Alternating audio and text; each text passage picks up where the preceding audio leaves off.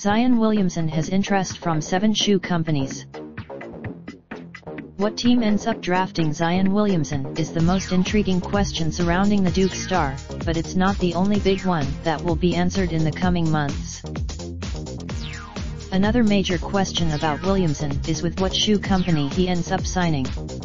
According to ESP, during an appearance on ESPN's The Jump Thursday, DePaula said he has talked to a seventh company that wants to be involved in the bidding for Williamson. He says that the Williamson is worth that kind of investment. Not only is he a related slideshow 2018-19 NBA season provided by M&A.